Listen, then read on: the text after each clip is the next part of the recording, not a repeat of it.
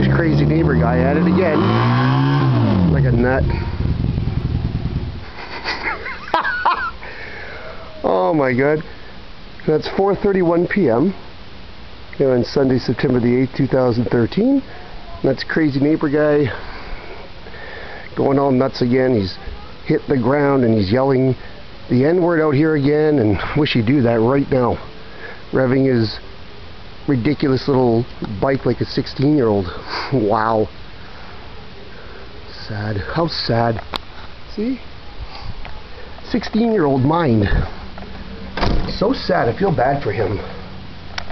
Yeah. Guy's a nutcase. See, you go out there and that's what he does to people. He just, he does crazy things like that because he's out of his fucking mind. Wow.